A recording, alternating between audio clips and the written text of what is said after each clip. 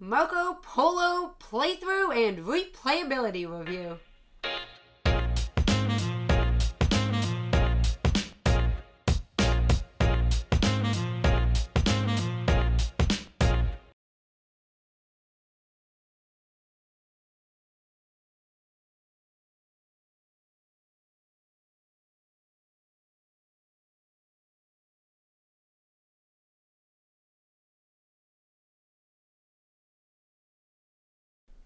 So now we are about to start the game in a game of Marco Polo. First thing you need to do, select your character code. You get dealt two, and you get to choose the one you want.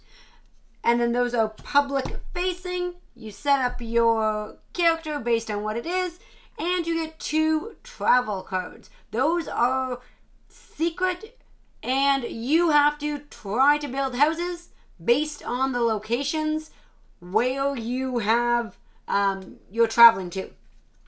And you get bonus points based on the number of these locations that you end up with a house in. Uh, so that's kind of bonus points. And you get points if you have both the beginning and the end of one of those cards. So that's the travel aspect. Um, but there are lots of other ways to gain points within this game. Yeah. Uh, so you can also gain points through contracts, which I'm going to put out now. And there are bonus points on the board. There are little, uh, essentially like little bonus areas you can activate during the game to get points. There's a lot of different ways to get points. So it's not just purely travel based. Uh, at the end of the game, you can trade in money. It's a bad use of money, mind you, but I think it's $10 for one point. And then whoever has the most contracts fulfilled receives seven points as well. We have our boards that do not fit within the upper camera, so you're just going to have to take our word for it. The game plays out over five rounds, uh, and I think we're pretty much just going to dive in and explain it as we go. So as Lisa's explained, we have our starting characters and we have our routes. Lisa's starting character's power is that the character starts in Beijing and she's allowed to put her house down, which gives her 10 victory points, which is a pretty nice start. Other than that, though, that's basically the entire starting power of, uh, or that's the entire power of the entire game for that character. So you get the 10 point head start, and you're further over on the board, which is harder to get to, but but that's about that. The character that I have chosen, Nicola and Marco Polo, I get two explorers and the game usually just gives you one. So i can move when i do a movement i can move one or the other along the board. Uh, so that's nice. And every turn i get a camel. The, the, way that that works is the start of the turn i get a camel. So lisa's first player she gets two camels and seven dollars to start. I am the second player. I get eight dollars and two camels to start. I'm going to add my one for my starting character. I am starting with three. Excellent. So this is a dice placement game. So you're die need to be rolled, so we haven't done that yet for the round. If your die do not add up to be 15, then you do get the difference in either money or camels, depending on what you would prefer. But seeing as I have 14, I would be allowed to have one. I will take a camel. Okay. And I rolled a lowly 13, so I will take two camels. Uh, in the game, they give you regular size essentially meeples and large size meeples. The large size meeples count as three, so I'm going to take a three and give back one as change. Okay, so Lisa's first. My first action is actually going to be movement. You need to have two die, and you cannot have you cannot use your die on an action space for a second time. You would have to either buy the black die, which you can purchase with camels, or you can only do the action one time that round. But other players can stack their die on top. They just have to pay the cost of their lowest value die. So in this case, I'm first. I'm going to do that. I'm going to pay $3, so I'll take $2 change. And I'm going to move one time. Actually, yes, one time. Because I only have ones, I can only move up to one time. So I am going to move myself down here to Zion. I'm going to get this bonus. It, it, oh, no, sorry, not this stays. one. This one stays. I am going to put my little house here, which means now every round I will be allowed to take one of these bonuses, any one, at the beginning of the round. Well, any of the blue, Blue bonuses, bonuses. you pointed to a non. I apologize. Okay. You also get one as soon as you get there, so you get to take one of the bonuses. Uh, the blue bonuses are great because you get them every round. The other bonuses, the first player there gets to take this uh, top tile, Semicircle. and they get it. Yes. So I'm going to take the five dollar um, bonus. Money is quite tight in this game, at least I find. Okay. Uh, just based on how I rolled poorly, I'm going to go ahead and take a 1. Down here, if I put my die, has to be equal than or greater than. You start the game with, in a two-player game, a couple spots are blocked, so you take a, a color of a dice you're not using. So I have ones there. I'm going to put down a 1 die. I get two camels and my choice of any of the three higher resources, which is gold, silk, and thread. I'm not sure what the exact Spice. Oh, Spice. spice is the brown bag. so I will take a gold. Gold are the hardest and most expensive resources to obtain, and I will take my two camels. That is my turn. So on my turn, I am going to take my four and five and go here. And it goes by the lowest number. So I will end up with three silk. And with that three silk, it allows me to finish my contract. That's two of them. There. So I'm going to keep one in my storage. I'm going to put three on here. That allows me to complete it. I will get $5 and three victory points. Contracts are worth points at the end of the game if you have the most. So that was three. Okay.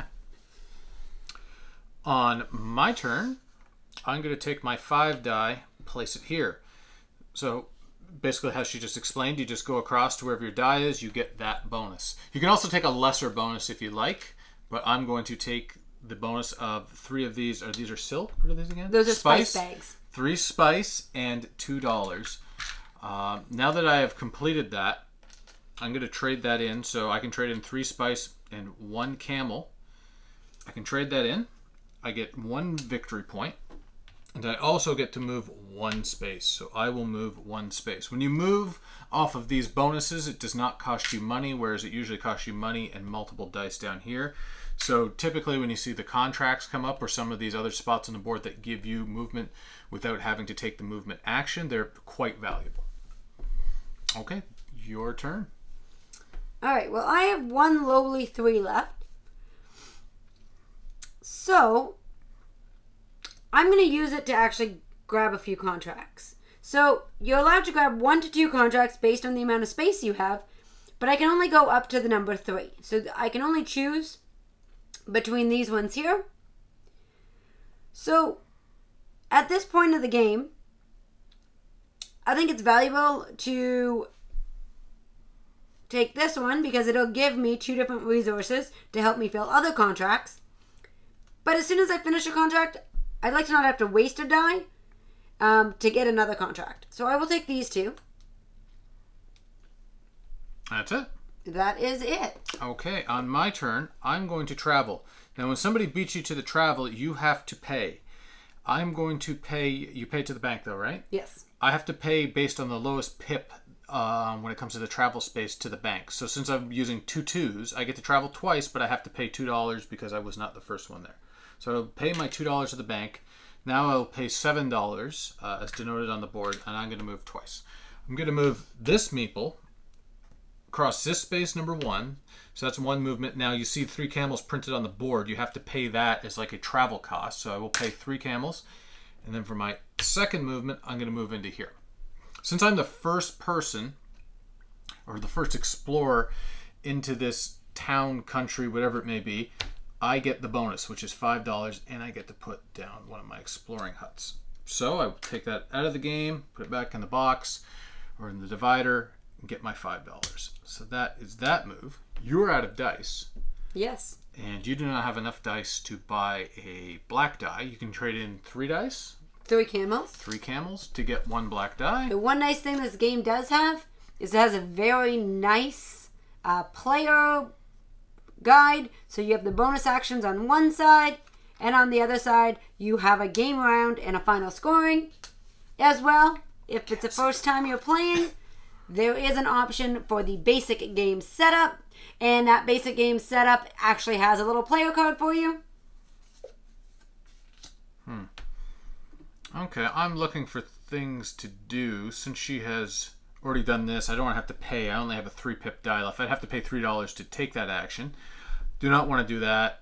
I don't know if I want three camels, even though three camels is not bad. And I can go here for one of my choice and two camels, or there for a uh, for five dollars. But I would have to pay three of my five back because there's already a die there. So I'm just going to put my die there. I'm going to collect two camels, and I will just take another gold because I'm on that space.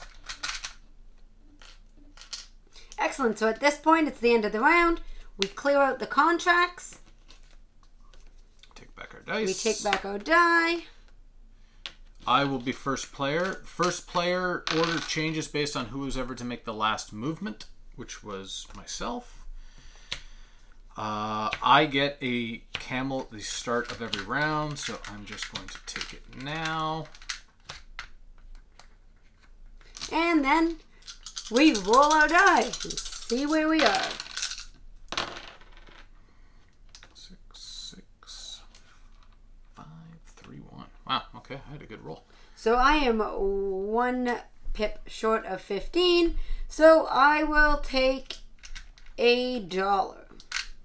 You also, at the start of the round, Get to your pick one bonus. So for my bonus, I am going to take.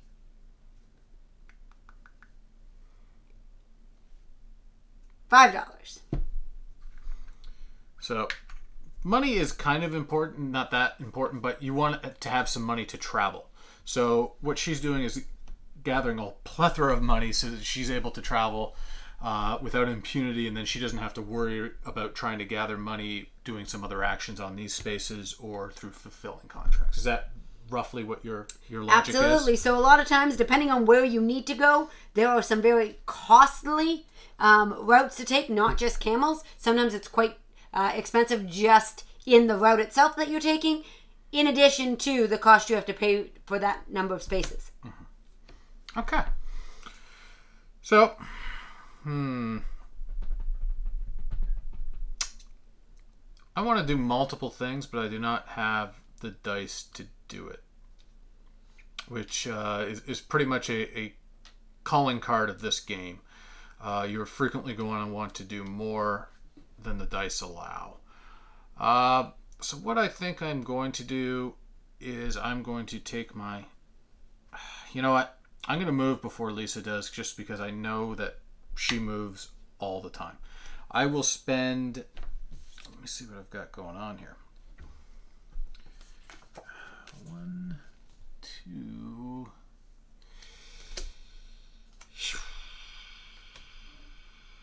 I'm in between a rock and a hard place. You know what? I'm not going to move. I'm going to try some different things this round. I'm going to put down a six. I can grab two contracts. I'm going to grab this contract, which you get the bonus of the highest contract you choose. So I'm going to take that. That will get me $2. I could have also chosen two camels. And I will take this contract as well. Everything else will slide down. It's expensive to use a six for it, but that You're contract's a, pretty good. You're getting a movement for it. Once I fulfill it, yes. Yes. Okay. All right. So for my turn, I need. I'm in desperate need of some camels. So I am going to take five camels. Camel me up. Okay. If you're on Amazon, you'd go to Camel, Camel, Camel. oh, Oh. Okay. He thinks he's funny. Oh, I think it. All right. All right. There's a one. I'm going to put it here because I'm trying to gather some gold for some of my contracts. There's a gold and two more camels. I'm going to take a big three camel and throw another one back in for change. Your turn. All right. Well, I'm in need of some gold. Um, but this is the best way for me to get it. So I will take two more camels and a gold, please. You want, two, sorry, two camels and a gold? Yes, One, please. two, and one gold. Okay, bump, bump, bump. Gold. Okay. Now I can trade in two camels in this game to To get go up one pip. one pip. I'm gonna do it. I think it's worth it. So I'm gonna trade in two camels. This five will become a six. And now I'm gonna take both sixes and go there and get four of the Silk. the silk. Okay. And, And then, on- well, well, well, then now I'm gonna do stuff. One second, not done yet. So I'm gonna get four silk. So this is probably giving away what I'm doing, but I'm gonna put them there and there.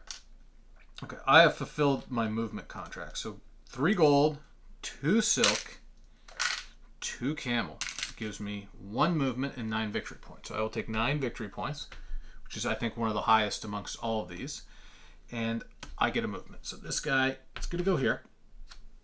I will get three camels because I was the first person to that space, and I will get to put down my hut. Now it's hard to put down huts, but if you can get to putting down, you have nine huts. If you can put down, I guess eight of them, you get five victory points. If you put down all nine, you can get up to fifteen victory points. Not easy to do, but that is a game that a lot of people will play if they have my character because they can move around the board with two different people. It And just you makes it easier to move. and you don't always have to take the expensive action. There's also one character that literally lets you drop a house everywhere that you pass through. So if you're doing these big uh, six movements, well, it's only costing you $18, but you can travel quite extensively across the board and you can drop one along the way. But with that character, you have one of the things is you have to have more houses down to get your bonus points. Yes. All right. So for myself, I'm going to take my four, and I am going to take three spice bags, please, individual ones if possible. Ah, one, two, ah, three. Okay. Bags, not silk. Yes, dear. One, two. You just call them the, the, the brown ones. Makes it easier. On, on, No, no, no, no. you don't play like that. It's all about theme. Otherwise, they could give me cubes. Okay. I'm going to trade in three camels to get a black die. I'm going to roll said black die. It's a four. And now I'm going to basically waste all of my. I wanted to. I only have four camels left. I do have the money to do double travel, but I'm not going to, even though that makes sense. They're both going to go there. I'm overpaying like crazy. I'm going to pay $3 to do one movement, even though I had better dice. And that also cost me three camels because of the camels printed on the board. The one advantage, and the reason I did it and wanted to get it done by the end of this turn, was I get five dollars right away, and I will get that five dollars at the start of my next turn. All right. Well, unfortunately, I'm one turn late. Um, but I am going to do two movement. So two dollars to the bank. So two dollars to the bank for that. Two movement is an additional seven. So that's nine in total. And I am traveling here. I get a black die right out of the gate. Oh, let me put my little sh- house down. You're gonna cursor.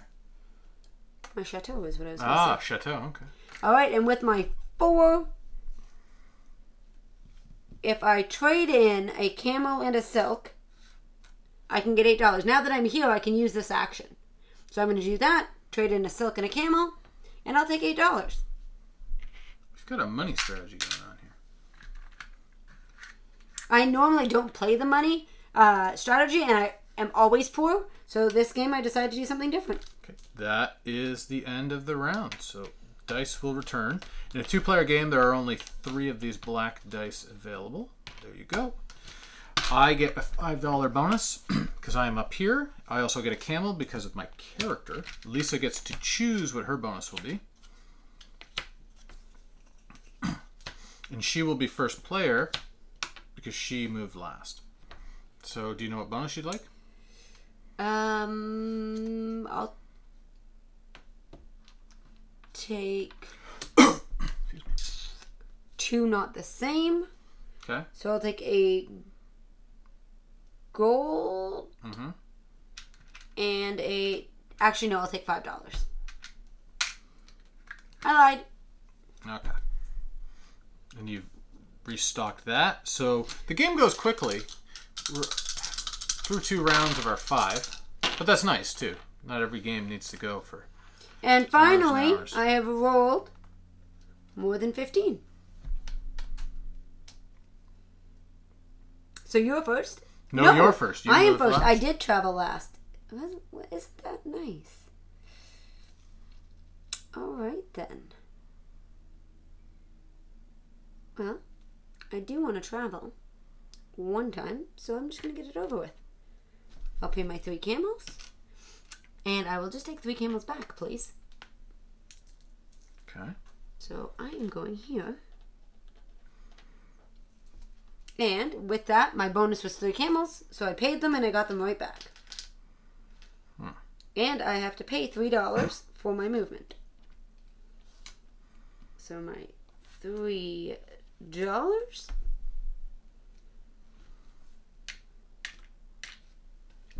Okay. Hmm. Well, I am all of a sudden very camel poor. So I'm going to go ahead, put a six there, and get six camels.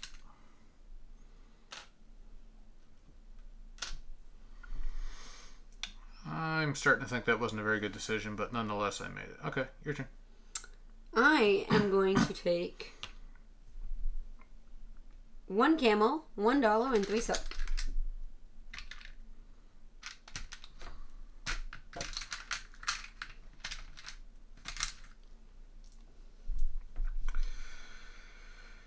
Okay. Hmm.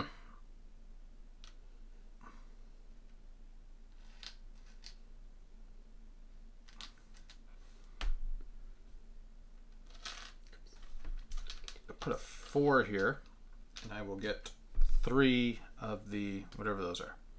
Spice. All right. Well, to start my turn, I have completed my contract. So I get three camels. And I get a contract of my choice. So I will take this one. Now, for my turn, I only have one lowly little die left. So,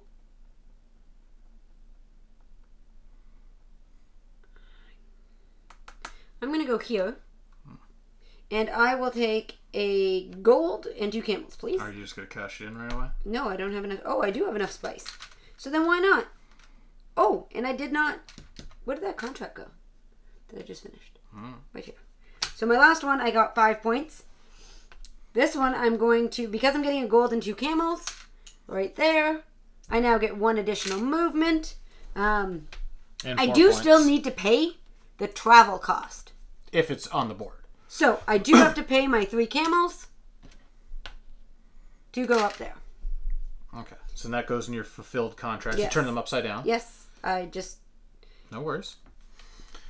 Okay, so I didn't anticipate her taking that. Well, I kind of did, but I should have gone up here and maybe changed my turnaround. Um, so I'm. I don't want to say I'm running out of time, but I've got to get going. So one thing I do need to do. Ah, this is really eating a lot of dice away. Gonna go there. It's gonna cost me three bucks and two camels, and I'm gonna move one space. Gonna go there. I get a contract of my choosing as the bonus, and I get to put down a house. So, spoiler alert: I actually needed to go to this city, so I do get a contract. Looking at what I have, this is going to be my best contract. It's going to give me a black die, and it's going to give me some flexibility. So that is that turn. Now, I assume this allows me to multiply. This is, would you say this is correct? Two not the same per one movement. yes. So I gotta get moving. So I'm gonna trade in two silk and two spice. I'm gonna get one back. And a five die there to move twice. So I'm gonna move two spaces out of there because I just had to get trucking along if I'm gonna meet my criteria. okay. I'm out of dice. I've been very inefficient, but sometimes this happens. And that is right. the round. Okay, so we will wipe. So we'll wipe. we'll get our once we wipe and get ourselves reorganized, we'll take our bonuses. So right now I have a bonus of any kind, and I have three camels. So I'll take my three camels. You're good with getting that hand out. Yes, and then I'll take an, uh, five dollars, please. All right, I took five dollars because I get five dollars uh, based on my bonus up there, and she took her three camels. Okay, I was the last to travel. You were. I was so. We have First two we have rounds left. Whew. This is the nicest roll I've had. Okay, I will roll up myself. Ooh, big roll. Okay, good roll for me. All right, probably not the smartest thing to do, but I'm going to take all these dice over here. This gives me three gold and a movement. So I'm going to take three gold. I'll take a big gold. In one movement, I have to pay three, but I get to come over into Beijing, uh, and that's seven victory points, which is a very nice bonus for me. Okay, your turn. All right, I'm taking two fives. Okay. I'm taking twelve dollars, so I'm going to move four times. With that, I'm going to need to pay three camels. So I'm going one, two, three, four into Moscow. Okay. We only have one more round after this, so keep that in mind. I'm going to put a four there and get three spice bags. I'll take them the small ones. One, two. Your turn. Mhm. All right. I'm trading in a three big gold for three small gold. Just Before it's gone, I'm going to take this. I'll take one gold and two cams. okay. Okay, on my turn, I'm going to pay three camels to get a black die. Rolled a two. Okay, I'm going to take said two. I'm going to put it there. I'll take one of the purple, which are silk, I guess, and two camels. Mm-hmm. Okay, your turn.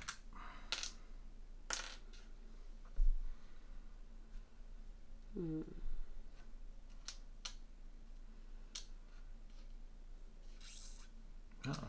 I'm in a bit of a rock and a hard place. I know what I need to do, but it's going to cost me a significant amount of money.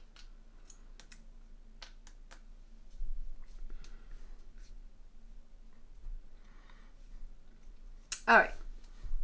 So, it's going to cost me $5 to do this, but I'm going to do it anyway. Oh, I can't because. I cannot put my own color in the same place. Nope. All right, so in that case, I am going to. You could try to get a black die and roll really well. So, I will Really? take You a black. Wow.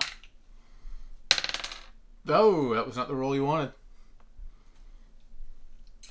I'll pay one to re-roll. Whoa, whoa, whoa, you can do that. Mm-hmm. Reroll. Oh, okay. Four. All right, Now you bump it up. so I'm gonna go here. You don't get a movement out of that. I'm not going. Oh, okay. for. Actually, I can pay three camels, Two camels to go up one. but then I cannot move. Why can't you move? I need to get through camels. So that's fine. I'm just gonna take three gold, please. That's your turn. You also have to pay the bank for doing that action. Four bucks. I thought you wanted to move. Otherwise, it's a not I overly needed gold as well. Okay, I'm gonna go over here. Trade two not the same. I can go trade a expensive gold and a spice, and I'm gonna move once down into here. I get my house. Since I got there, I get a bonus.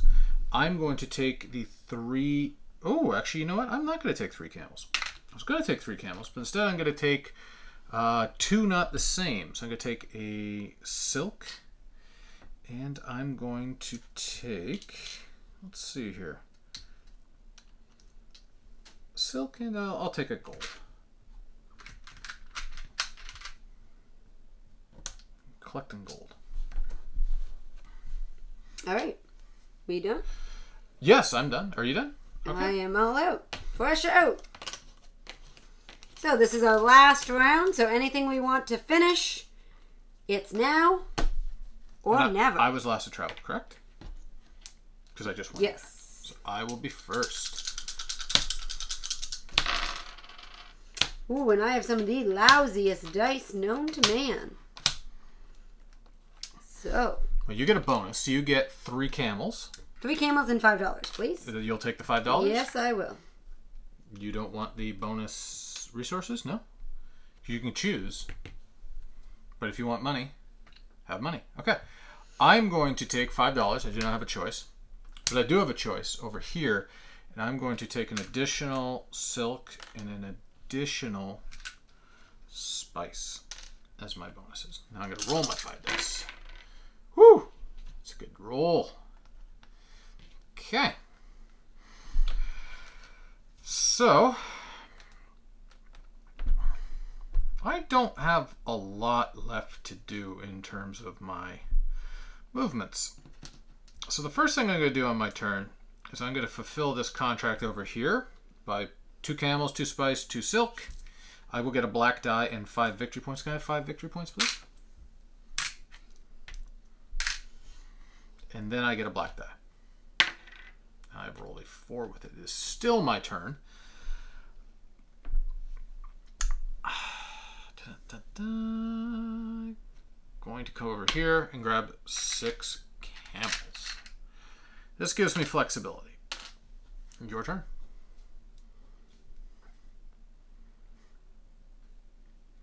I'm going to go here and take this one. Okay. Done. Yes. Okay. I'm going to go here. And I'm going to move. Let me double check this. I'm going to move twice. That cost me $7. And I'm going to move this way. So it's going to cost me four of my six camels I just brought in. So now I'm back down to two lowly camels. I'm going to move one, two. I get to put down a house. And I get three victory points because I made that space. I went this way. Um, But nice try. okay. I am done. Your turn.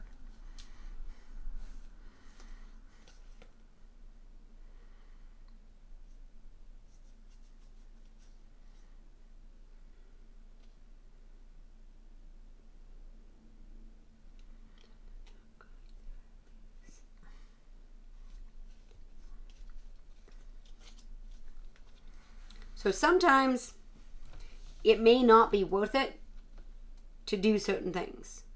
The movement and getting to every city that you want that are on your cards may make you lose too many other points in different areas. Um, so sometimes it's just not not worth it overall. So for myself, I am going to pay three camels to move up a pip. Two camels. So I'll give you back one. Yes, please. And I didn't even need to do that, but I did it anyway. I would like three spice bags and two dollars.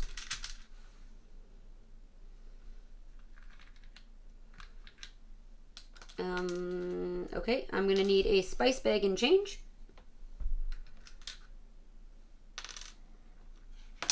Ah!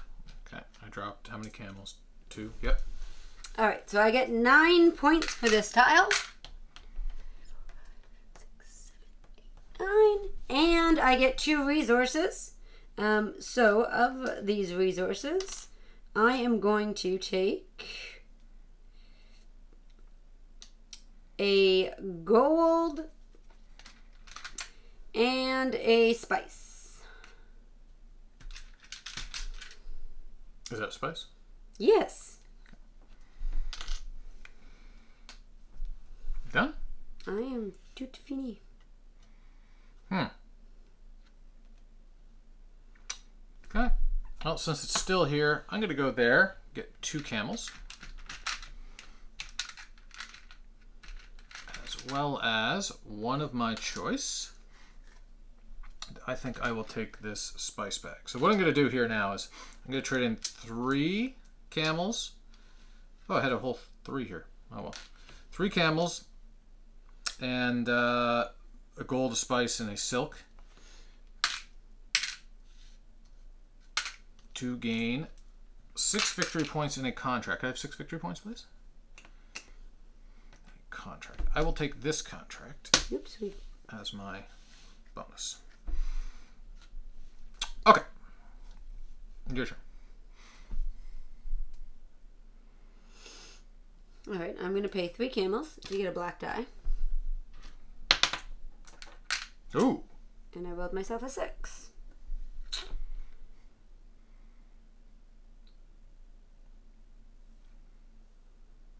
What's said six?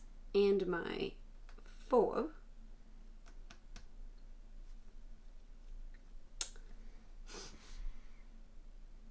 Mm, no, that doesn't make sense.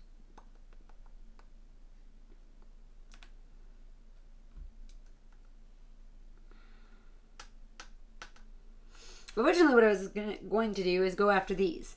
Um, so maybe I still give that a try. Um, but I'd have to use the black die, unfortunately.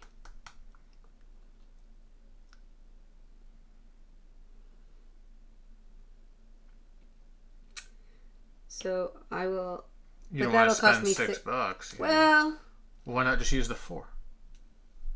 because I can't put it on top of oh. myself. I got the black die just for that purpose. What else are you using your money for?